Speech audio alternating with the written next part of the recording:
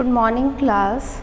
Hello students today we discuss geography's chapter four and part third discuss in this video and chapter four is air हवा जो है, उसको हम discuss कर रहे थे चैप्टर फोर पार्ट वन हमने कंप्लीट कर लिया and now part two is complete and now we discuss today part third yes in part third we discuss firstly winds what is winds yes in part second we discuss about winds then we go through the again winds ki what is winds yes hawa तो yes यहाँ ये बोल रहा है जो horizontal movement of the air और reason जो होता है हाई प्रेशर से लो प्रेशर की तरफ़ जो जाती है, वो होती है हवा। एंड जो विंड वैन होता है, उससे हम डायरेक्शन का मेज़र करते हैं। डायरेक्शन हमें पता पड़ती है। और एनोमीटर जो होता है, उससे स्पीड जो विंड है, हवा है, उसकी स्पीड क्या है, उसका हम फाइंड आउट करते हैं। Now we discuss types of winds types of winds types of winds कि हवा के जो टाइप्स है, वो हम यहाँ डिस्कस करेंगे। Yes winds are different types different types के विंड्स यहाँ दी हुई है। फ़र्स्ट जो है permanent winds yes we discuss chapter page number 38 तो yes come to page number 38 yes permanent winds winds which blow in constant direction throughout the year are called permanent winds यहाँ ये बोल रहा है, वो हवा है which blow in constant direction मतलब एक ही दिशा में बहती रहती है। थ्रू आउट द ईयर पूरे साल आर कॉल्ड परमानेंट विंड्स मतलब वो हवाएँ जो पूरे साल होल ईयर एक ही दिशा में लाइक इस डायरेक्शन में है तो इसी डायरेक्शन में बह रही है तो वो क्या कहलाएगी? परमानेंट विंड्स कहलाती है. The trade winds western lines and polar winds are permanent winds यहाँ जो कुछ एग्जांपल्स दिए हुए हैं कि परमानेंट विंड्स में कौन कौन सी विंड्स आती है, देखिए. एक तो जो विंड्स वेस्टर्न ट्रेड विंड्स आती है वेस्टर्न लाइन्स विंड्स आती है एंड देन पॉलर विंड्स आती है परमानेंट विंड्स के अंदर। तो जो एक ही डायरेक्शन में बहती है हवा, वो कहलाती है permanent wind now second wind जो है, वो है अब सीजनल और पीरियोडिक विंड जैसा कि नेम से ही शो हो रहा है, या तो सीजनल या पीरियोडिक उसका टाइम पीरियड होगा, तभी वो हवा बहेगी तो वो कहलाएगी सीजनल या पीरियोडिक विंड देखिए winds which blow in particular direction during a particular season जो हवा पर्टिकुलर डायरेक्शन में बहती है और during a particular season particular season particular मौसम में वो किसी दिशा में बहती है तो वो कहलाती है सीजनल या periodic wind are call seasonal winds for example जैसे मानसून विंड्स जो मानसून के टाइम पर जो हवाएँ चलती है तो वो मानसून विंड वो मानसून के टाइम पर ही चलती है. इसलिए वो किसमें आ गई है? सीजनल विंड्स के अंदर आ गई है.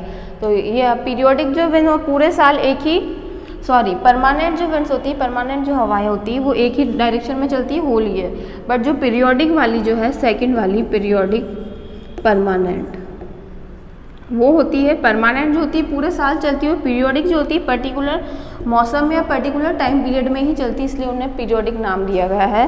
And third is local winds third one is local winds जो लोकल जो हवाएँ चलती हैं, उनकी यहाँ हम बात करेंगे।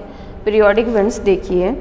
Winds which blow during a particular part of the day और year in local area for a short duration are called local winds यहाँ बोल रहा है विंड्स लोकल विंड्स वो होती है which local winds which blow during a particular part of the day कि वो पर्टिकुलर पार्ट में, दिन के एक पर्टिकुलर पार्ट में, या तो दोपहर में, या इवनिंग टाइम में मॉर्निंग टाइम में नून टाइम में, या नाइट टाइम में मतलब जो डे है, उसके एक पर्टिकुलर टाइम पीरियड में and local area for short duration किसी पर्टिकुलर लोकल एरिया में चलेगी वो शॉर्ट ड्यूरेशन के लिए बट थोड़े टाइम के लिए like three two four days may be one two two days तो इस तरह से शॉर्ट ड्यूरेशन के लिए चलती है और एक पर्टिकुलर एरिया में चलती है लोकल विंड्स फॉर एग्जांपल जैसे लू. राजस्थान में जो हवाएँ चलती है, गर्मियों में दोपहर के समय नून टाइम में तो उन्हें क्या बोलते हैं? लू बोलते हैं। Loo are hot and dry winds at that blow in northern plains जो नॉर्थ के जो प्लेन्स है इंडिया में, वहाँ बहती है during the month of May and June तो इनका टाइम फिक्स हो गया मई और जून में। दोपहर के समय में बहती है ये। तो इस टाइप की जो विंड्स है, वो कौन सी विंड्स कहलाती है? लोकल विंड्स कहलाती है। तो हमने थ्री टाइप्स की पढ़ ली। परमानेंट पूरे साल बहती। पीरियोडिक इनका टाइम फिक्स होता है। और जो लोकल विंड्स होती है, एक पर्टिकुलर एरिया में पर्टिकुलर रीजन में और पर्टिकुलर टाइम पीरियड के लिए होती है, वो कहलाती है लोकल विंड्स कहलाती है। Yes students next topic we discuss moisturiser are next topic is moisturiser air topic is complete now we discuss about moisturiser yes what is moisturiser yes the amount of moisturiser present in air is called humidity यहाँ ये बोल रहा है moisturiser का मतलब होता है air के अंदर जो ह्यूमिडिटी नमी जो मौजूद है ह्यूमिडिटी मतलब एयर के अंदर थोड़ा पानी की जो क्वांटिटी अवेलेबल है ह्यूमिडिटी नमी जो अवेलेबल है, वो कहलाता है moisturiser yes, when water from water bodies and land evaporated, it get converted into water vapor. यहाँ ये बोल रहा है, जब वाटर क्या है वेपर बन के वॉश्प बन के क्या करता है, जो वाटर बॉडीज़ या जो वाटर लैंड्स है, वहाँ पे इवपरेटेड वहाँ से उठकर मतलब भाप बनकर उठ के किसमें वाटर वेपर में कन्वर्ट हो जाता है। ह्यूमिडिटी डिपेंड ऑन टेम्परेचर और ये ह्यूमिडिटी जो होती है कि वो अवेलेबिलिटी एयर में वाटर की अवेलेबिलिटी वो किस पर डिपेंड होती है? टेम्परेचर पे कि टेम्परेचर कितना है? टेम्परेचर हाई है या टेम्परेचर लो है? इसके ऊपर क्या डिपेंड होती है? ह्यूमिडिटी अवेलेबल होती है। Thus when the temperature is high humidity also increases यहाँ ये बोल रहा है टेम्परेचर क्या होगा? हाई बड़ा होगा तो ह्यूमिडिटी क्या होगी? हाई होगी। लाइक अभी जो करंट टाइम जुलाई में जो टाइम चल रहा है उसमें क्या ह्यूमिडिटी बहुत ज़्यादा है? क्यों? क्योंकि टेम्परेचर भी बहुत ज़्यादा है इस वजह से। Yes When humidity is high, the weather becomes slurty and uncomfortable. As sweat does not evaporate easily from the body तो ह्यूमिडिटी वाला जब हाई रहता है ह्यूमिडिटी वाला जब मौसम रहता है तो वेदर जो मौसम होता है स्लटरी उमस वाला मौसम होता है, इस और अनकंफर्टेबल हम फील करते हैं। लाइक बारिश और गर्मी वाला जो मौसम होता है कि जो बारिश है वो प्रॉपर नहीं आ रही होती रेन प्रॉपर तो उसकी वजह से बहुत उमस बढ़ जाती है, गर्मी भी बढ़ जाती है टेम्परेचर भी हाई हो जाता है। तो स्लटरी उमस वाला जो मौसम हो जाता है तो इसमें क्या होता है, जो स्वेट जो बॉडी से हमारा जो स्वेट पसीना जो निकलता है, वो भी इजीली नहीं निकल पाता और इस वजह से हम काफ़ी अनकंफर्टेबल फील करते हैं। इस वाले जो मौसम में हम बहुत ही बुरा बैड फील करते हैं। हेल्थ इश्यूज़ भी इस मौसम में बहुत ज़्यादा होते हैं लोगों को। क्यों होते हैं? क्योंकि ये मौसम ही ऐसा होता है, बहुत ज़्यादा गर्मी इस मौसम के अंदर होती है। यस फिर देखिए being lighter in weight the water vapour rise है और यहाँ ये बोल रहा है कि जो वेट क्या होता है? लाइट होता है वेट कम होता है तो वाटर वेपर जो पानी है, भाप बनकर क्या है राइस मतलब ऊपर उठता है और। Yes they cool down change into droplet water और इवन आइस और जैसे ही कूल डाउन होता है, ठंडा होता है तो ये वाटर ड्रॉपलेट मतलब पानी की बूंदों में या आइस बर्फ़ में कन्वर्ट हो जाता है। जैसे ही ये क्या हुआ, पहले लाइट होता है तो ये भाप बनकर क्या मतलब वेपर बन के ऊपर उठेगा। ऊपर उठने के बाद जैसे ही ये कूल डाउन होता है, ठंडा होता है तो ये पान ड्रॉपलेट्स मतलब पानी की बूंदों में चेंज हो जाता है। यस स्टूडेंट्स नेक्स्ट देखिए this process is called condensations ये प्रोसेस वो प्रोसेस होता है जिसमें लाइक आपने फ्रिज वगैरह में देखा होगा कभी अपन प्लेट रखते हैं ढककर फ्रिज में किसी के ऊपर, बर्तन के ऊपर तो हम देखते हैं कि जो उस पर ड्रॉपलेट्स, पानी की बूंदें आ जाती है। उस प्लेट वगैरह पे या जो ढक्कन हमने लगाया लगाया है, उसके ऊपर पानी की बूंदें आ जाती है। तो ये जो प्रोसेस होता है कंडेंशन मतलब या हम अगर बॉयल वाटर कर रहे हैं या कोई भी चीज़ बॉयल करते हैं तो हम उसके ऊपर भी अगर प्लेट्स वगैरह ढकते हैं तो उसके ऊपर भी हमें ड्रॉपलेट्स पानी की बूंदें वो दिखाई देती है। तो ये जो प्रोसेस होता है कि वो गर्म चीज़ के कांटेक्ट में आने से वो पानी की बूंदों में जो कन्वर्टेशन वाला जो प्रोसेस है, वो कंडेंसेशन कहलाता है। Yes the temperature at which air get saturated is known as dew point और मतलब वो टेम्परेचर का वो पॉइंट जिस पर क्या होता है ड्यू पॉइंट मतलब होता है उस पॉइंट पे हम तरबतर लाइक हम जो पसीने वाला मौसम हो या कि हम बिल्कुल पसीने से भीग गए तो वो वाला जो पॉइंट होगा वो ड्यू पॉइंट कहलाएगा। फिर देखिए condensation of water vapour result in formation of cloud यहाँ ये बोल रहा है जो कंडेंसेशन जब होता है वाटर वेपर तो उसका जो रिज़ल्ट क्या होता है? क्लाउड बादल बन जाते हैं, उसका जो रिज़ल्ट होता है। Clouds are aggregation of millions of droplets of water और क्लाउड्स कैसे बनते हैं? मिलियंस लाखों जब पानी की छोटी छोटी बूंदें मिलकर क्या बनाती है? क्लाउड बनाती है। मतलब एग्रीगेशन मतलब कलेक्ट होकर काफ़ी सारी वाटर ड्रॉपलेट्स ड्रॉपलेट्स कलेक्ट होकर क्या बनाती है? क्लाउड्स बनाती है। Yes when these droplet grow in size जैसे जैसे इन ड्रॉपलेट्स की साइज़ क्या होती है ग्रो होती है, बढ़ती है दे बिकम हैवी ये क्या हो जाती है? हैवी हो जाती है. जैसे जैसे मतलब उसमें और ड्रॉपलेट्स ऐड होती जाती है तो वो क्या हो जाती है? हैवी हो जाती है और the descend toward earth as participation और वो पानी फिर क्या करना अर्थ पर गिरना. डिसेंड्स मतलब गिरना स्टार्ट हो जाती है अर्थ पर. मतलब पानी की बूंदों के रूप में या ओले के रूप में या किसी भी फॉर्म में वो जो पानी की बूंदें वापस अगेन कहाँ पर आने लग जाती है? अर्थ पर आने लग जाती है. Yes, precipitation is the process of descending down of moisturizer from cloud in form of rain, snowfall, hail or slit. यहाँ ये बोल रहा है पार्टिसिपेशन जो प्रोसेस होता है कि डिसेंडिंग डाउन ऑफ़ मॉइस्चराइज़र का जैसे क्या होता है डाउन होता है गिरना स्टार्ट होती है तो वो किस फॉर्म में? या तो रेन बारिश के फॉर्म में, या स्नोफॉल बर्फ़ के रूप में, या हेल मतलब ओले के साथ बारिश के रूप में वो गिरना स्टार्ट हो जाते हैं। The most common form of participation in the world is rain सबसे जो कॉमन फॉर्म है उसकी वो, जो फॉर्म है रेन की जैसे वो बूंदे भारी होती है, बहुत ज़्यादा बूंदे कलेक्ट हो जाती है तो वो अर्थ पे आने लग जाती है तो वो किस फॉर्म में आती है? मोस्टली वो रेन की फॉर्म में, बारिश की फॉर्म में आती है। ओल्ड वर्ल्ड की अगर हम बात करें तो वो रेन के फॉर्म में ही अर्थ पर आती है। यस स्टूडेंट्स देन देखिए रेनफॉल बारिश जो होती है, उसके बारे में मॉइस्चराइज़र के बाद हम डिस्कस कर रहे हैं। Next are next topic is rainfall yes देखिए रेनफॉल क्या होता है। On the basis of this occurrence there are three type of rainfall यहाँ ये बोल रहे हैं अकर्नेस के बेसिस पे जो रेनफॉल कितने टाइप्स की होती है। थ्री टाइप्स की यहाँ इन्होंने रेनफॉल्स बताई है। मतलब बारिश के जो टाइप्स बताए, वो कितने टाइप्स के बताए हैं? थ्री टाइप्स की रेनफॉल बताई हैं। यस देखिए they are convectional rainfall first जो टाइप बताया है convectional rainfall second one is और orographic rainfall and relief rainfall and cyclonic और फ्रंटॉल रेनफॉल इस टाइप के थ्री टू फोर टाइप्स यहाँ इन्होंने डिस्कस किए हैं रेनफॉल के. Yes students first one we discuss convectional rainfall yes हम फ़र्स्ट जो डिस्कस करेंगे, कौन सी रेनफॉल करेंगे?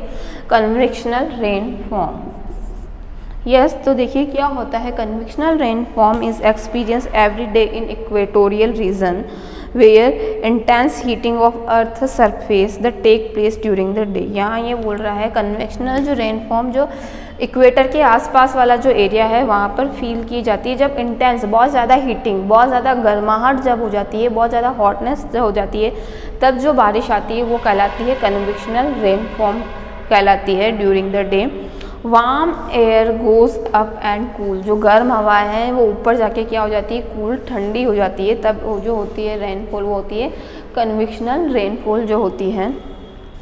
Yes this lead to the sorry this lead to the formation of cumulus clouds और जो यहाँ पर जो क्लाउड्स जो बनते हैं, बादल जो बनते हैं, वो क्यूमुलेशन मतलब लाइक आपने कॉटन जो होता है ना कॉटन की तरह से बनते हैं। आपने कभी बारिश के बाद जब मौसम साफ़ होता है तो आपने देखा होगा, इस तरह से क्लाउड नज़र आते हैं। दूर दूर। कहीं यहाँ पे क्लाउड है देन स्काई दिख रहा है, फिर देन यहाँ क्लाउड यहाँ क्लाउड यहाँ क्लाउड इस तरह से जो क्लाउड मतलब एक कपास की, रुई की तरह कॉटन की तरह ये नज़र आते हैं। तो ये जो बादल जो कहलाते हैं क्यूमुलस क्लाउड्स कहलाते हैं, कि इस तरह से दूर दूर ये होते हैं cumulus clouds these clouds produce sudden and heavy rainfall called convectional rainfall और इन्हीं क्यूमुलस क्लाउड्स की वजह से जो आती है एकदम अचानक से जो तेज़ बारिश सडन अचानक से एंड हैवी बहुत तेज़ जो बारिश आती है वो रेनफॉल कहलाती है कन्वेक्शनल रेनफॉल कहलाती है। यस yes, तो कन्वेक्शनल रेनफॉल हो गया हमारा। Next we discuss orographic rainfall का जो टाइप है वो हम यहाँ पढ़ेंगे। या फिर उसे रिलीफ रेनफॉल भी कहा जाता है। Another name is relief rainfall Relief rainfall is experienced when the moisturizer laden air lift over mountains. वो जो माउंटेन्स के ऊपर जो बारिश होती है मतलब माउंटेन से तो माउंटेन से क्या बादल टकराए और उसके टकराने की वजह से, उसके क्लैश होने की वजह से जो बारिश होती है, वो कहलाती है रिलीफ रेनफॉल ये माउंटेन्स पर ही होती है। जो रिलीफ रेनफॉल होती है रिलीफ बारिश जो होती है, वो कहाँ होती है? माउंटेंस पर ही होती है। When the air cool down जब एयर क्या होती है? ठंडी होकर नीचे आती है। फॉर्मेशन ऑफ़ ऑरोग्राफिक और रिलीफ क्लाउड तो कौन से? रिलीफ क्लाउड जो बनते हैं take place which result in rain और जैसे ही कौन से क्लाउड बनेंगे? रिलीफ क्लाउड बनेंगे।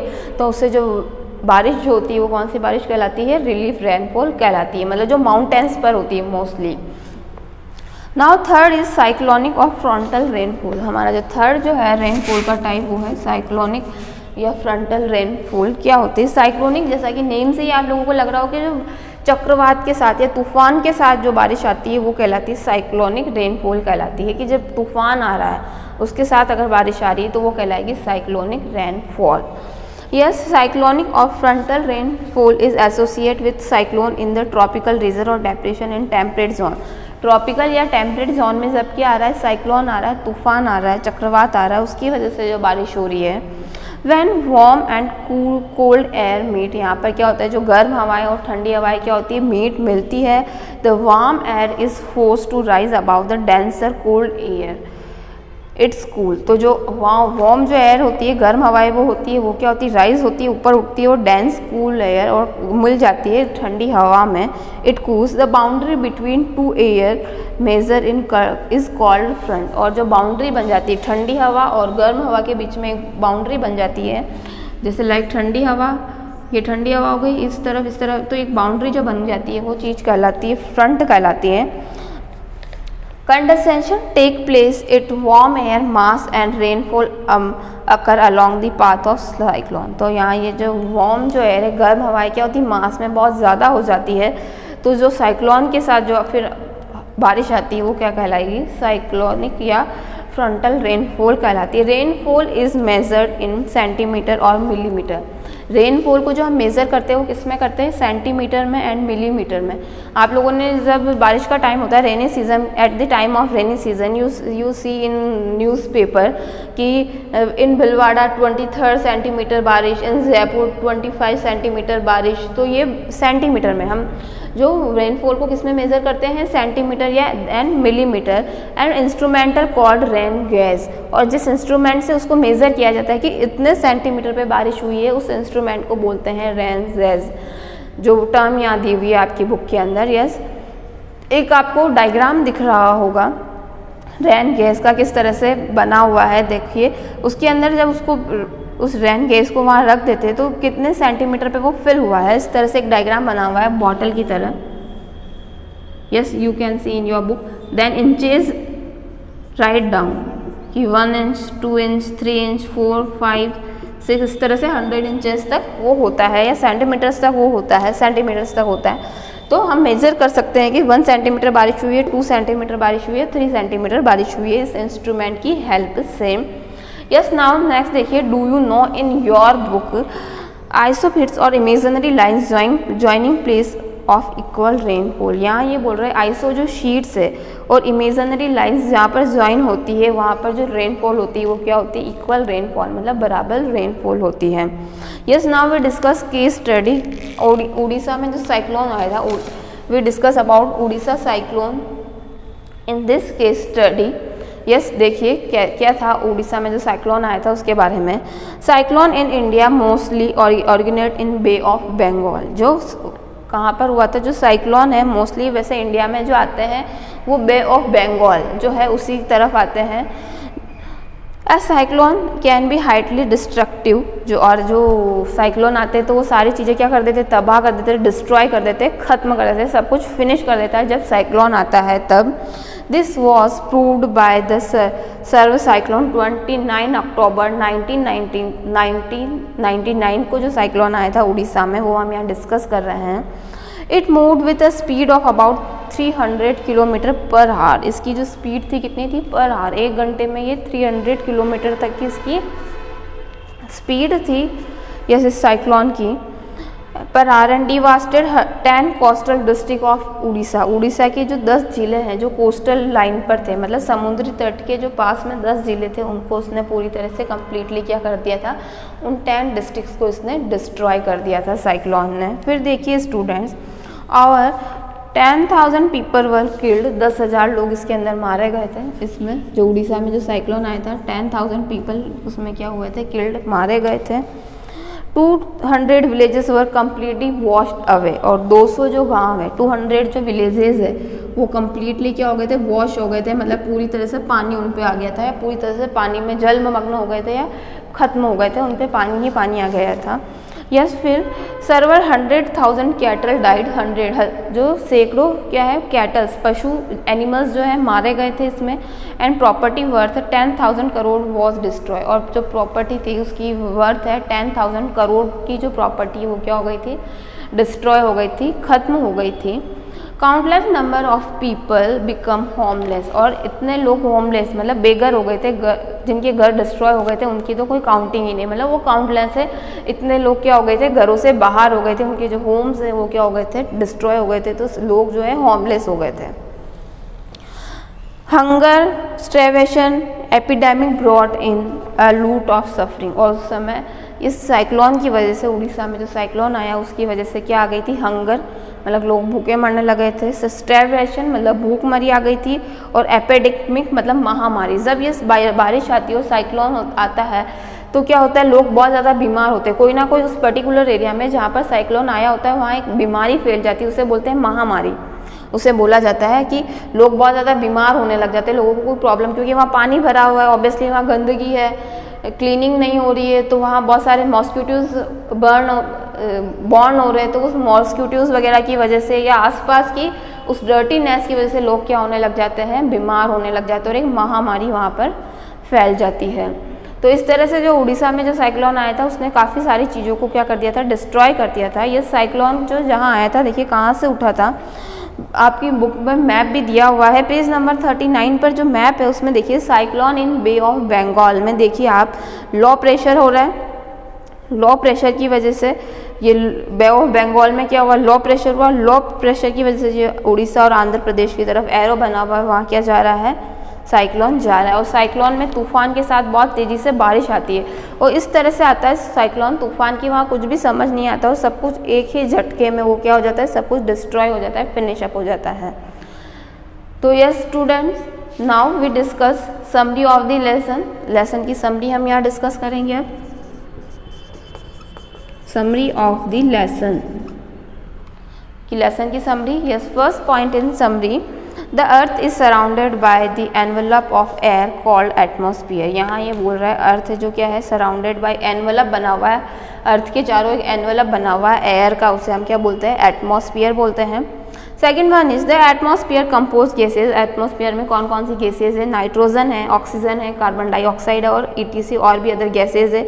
इसके अलावा water vapour and dust particles भी कहाँ पर है? एटमोसफियर में है। Our third point the atmosphere is divided into five layer जो एटमोसफियर है, उसको फाइव लेयर में डिवाइड किया है।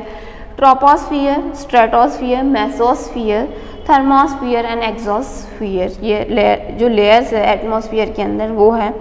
फिर yes next is weather refer to the condition of the atmosphere over a small area for a given period of time weather क्या refer करता है, कंडीशन रेफ़र करता है एटमॉस्फेयर की, स्मॉल एरिया में for given period of time में। ये एक पर्टिकुलर एरिया में स्मॉल टाइम पीरियड के लिए जो मौसम रहेगा वो होगा वेदर और the average weather condition over a large area for a long period of time is called climate और वो जो वेदर की कंडीशन है, जो मौसम एक लंबे टाइम तक रहने वाला है लॉन्ग एरिया में, लंबे रीजन में रहने वाला है तो वो चीज़ कहलाएगी क्लाइमेट कहलाएगी। Last point is different elements of weather and climate are यहाँ कुछ एलिमेंट्स यहाँ बताए हैं, उन्होंने वेदर और क्लाइमेट के लाइक टेम्परेचर है एयर प्रेशर है ह्यूमिडिटी है विंड्स एंड पार्टिसिपेशन है कि हवा, बारिश, जो टेम्परेचर है वहाँ एयर प्रेशर कितना है। Yes students now we discuss exercise come to exercise page number 40 yes, firstly we discuss mcqs first mcq is imaginary lines joining place of some atmospheric pressure above sea level is called एक imaginary line जो draw करी हुई है, उस imaginary line को हम क्या बोलते हैं? बार बोलते हैं। यस फिर second is the layer of the atmosphere which is rich in ozone वो लेयर ओजोन लेयर जो, जहाँ पर क्या है? कौन सी एटमोसफियर की कौन सी लेयर में ओजोन है? तो स्ट्रेटोस्फियर में ओजोन लेयर अवेलेबल है। फिर है, लू इज़ एग्ज़ाम्पल ऑफ़, लू किसका एग्ज़ाम्पल है? तो लोकल विंड्स, जो लोकल हवाएँ जो चलती है, राजस्थान में जो हवाएँ चलती हैं, नॉर्थ प्लेन में जो हवाएँ चलती हैं, उन्हें क्या बोलते हैं? लू बोलते हैं। Fourth one is the temperature at which air get saturated कौन से पॉइंट पर जो टेम्परेचर है स्ट्रेचुएटेड हो जाता है? तो ड्यू पॉइंट पर, कि वो अब लाइक हम पसीना भी, हवा भी हमारे पानी की बूंदों के रूप में जो उभरने लगता है, वो कहलाता है ड्यू पॉइंट। फिर next the study of weather मौसम की जो स्टडी है, वो स्टडी क्या कहलाती है? मेट्रोलॉजी कहलाती है yes come to next exercise fillups fill in the blanks yes first fillup is the envelope of air surrounding the earth is called तो एटमोसफियर जो अर्थ के चारों एक एनवलप बना हुआ उसे हम क्या बोलते हैं? Atmosphere second is the amount of moisturiser present in air is called तो ह्यूमिडिटी नमी, जो कि मॉइस्चराइज़र कितना अवेलेबल है मतलब नमी जो अवेलेबल है तो उसे हम क्या बोलते हैं? ह्यूमिडिटी बोलते हैं। Next is, winds which blow over a particular period of time over a particular area are called मतलब जो हवाएँ पर्टिकुलर टाइम पर और पर्टिकुलर पीरियड में बहती है तो उन्हें कौन सी विंड्स कौन सी विंड्स बोला जाता है? तो पीरियोडिक विंड्स उन्हें कहते हैं। Fourth the lines joining place of equal rainfall are जो लाइन का इक्वल रेनफॉल को ज्वाइन करती है तो वो कहलाती है आइसोशिएट्स कहलाती है। Fifth is use for finding the direction of wind हवाओं का डायरेक्शन बताने के लिए तो क्या यूज़ करते हैं? विंड वैन का यूज़ किया जाता है। Now come to next exercise next exercise is true and false yes first true false stratosphere में क्या होती है? रिच इन ऑक्सीजन ऑक्सीजन नहीं, वहाँ ओजोन लेयर होती है ऑक्सीजन नहीं होती तो it's false temperature is measured by wet and dry bulb thermometer तो it's false rainfall is measure by barometer rainfall को किसमें मेज़र करते हैं? बैरोमीटर में तो फॉल्स है ये. हमने अभी पढ़ा था रेनफॉल को हम जॉज में मेज़र करते हैं. Fourth is there is low pressure at equator and high pressure at pole तो इक्वेटर पे तो लो प्रेशर ही रहता है, और जो पोल्स होते हैं, वहाँ प्रेशर जो होता है हाई होता है तो it's true next is the temperature decreases as we go to high latitude temperature क्या होता है? डिक्रीज होता है जैसे जैसे हम हाई लेटीट्यूड तो इट्स ट्रू कि जैसे जैसे हम समुद्र से ऊंचाई पर जाते हैं तो टेम्परेचर क्या होता है? डिक्रीज कम होता जाता है। Now next exercise is match the column yes temperature तो टेम्परेचर जो है उसको मैच करिए। यस सिक्स किससे मेज़र करते हैं? इसको सिक्स मैक्सिमम एंड मिनिमम एक थर्मोमीटर आता है, उससे किसको मेज़र किया जाता है? टेम्परेचर को मेज़र किया जाता है। Now second is pressure. Pressure को जो मेज़र करते हैं, वो किससे? बैरोमीटर से करते हैं। थर्ड इज़ ह्यूमिडिटी ह्यूमिडिटी तो होती है wet and dry bulb thermometer से करते हैं। फोर्थ वन इज़ रैनफॉल तो रैनफॉल के लिए रैन जॉस एक अलग ही मीटर आता है, उसको मेज़र करने के लिए। विंड स्पीड हवा की जो स्पीड है, उसे एनोमीटर से हम मेज़र करते हैं। मतलब अलग अलग चीज़ को मेज़र करने के लिए अलग अलग इंस्ट्रूमेंट यूज़ होते हैं। हवा के लिए अलग है, बारिश के अलग, के लिए अलग है। हवा का प्रेशर कितना है उसके लिए अलग है ह्यूमिडिटी कितनी है टेम्परेचर कितना है तो अलग अलग चीज़ों को मेज़र करने के लिए अलग अलग क्या यूज़ करते हैं हम लोग गैजेट्स यूज़ करते हैं। तो yes students now are chapter is complete and part third is also yes uh, i hope you see watch video carefully and try to understand or in this video in part third we discuss winds and types of winds. Then we discuss moisturizer we discuss rainfall and types of rainfall and then we discuss summary of lesson. Thank you students. Have a nice day